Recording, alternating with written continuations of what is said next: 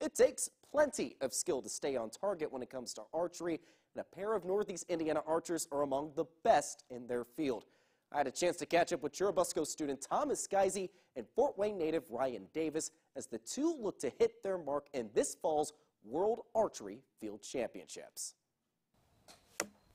Aiming for six. At this range in Churubusco, Ryan Davis and Thomas Bear Geise spend countless hours hunting for a perfect shot. Bear was first exposed to archery in elementary school. His interest bloomed into his livelihood.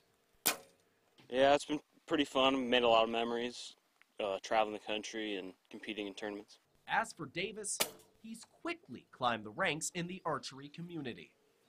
Field archery is new this year to me. I've been a competitive barebow archer since early 2020. Unlike Olympic archery, where athletes can use sights, stabilizers, and other equipment, barebow doesn't use all the bells and whistles. Just a bow, an arrow, and a steady hand. Making things more challenging is that Davis and Geise have to battle Mother Nature when competing in field archery.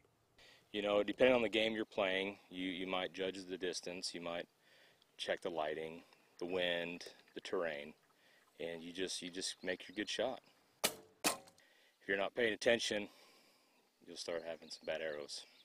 You have rain and wind to deal with as well. Obviously, makes it very difficult from a day-to-day sort of perspective. This fall, Davis and Geise will compete at the World Archery Field Championships in Yankton, South Dakota. Davis is one of three U.S. archers competing in the barebow class, with Geise in the U21 division. I'm very excited to get to wear the uh, red, white, and blue jersey representing the United States. Uh, it's not an opportunity that a lot of people get, so it's I'm going to really take advantage of it.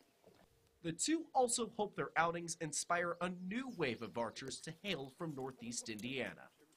Uh, there's some strong shooters coming out of this area. Um, I'm proud of Bear. He's he's coming along, and he's got a long future ahead of him. It's really shows to the talent coming from this area and really shows how when people from this area work hard, they can accomplish really anything. Davis is also competing in the World Games in Birmingham with qualifying play in barebow archery starting on Sunday. I'm Josh Ayen, and that's your local sports report.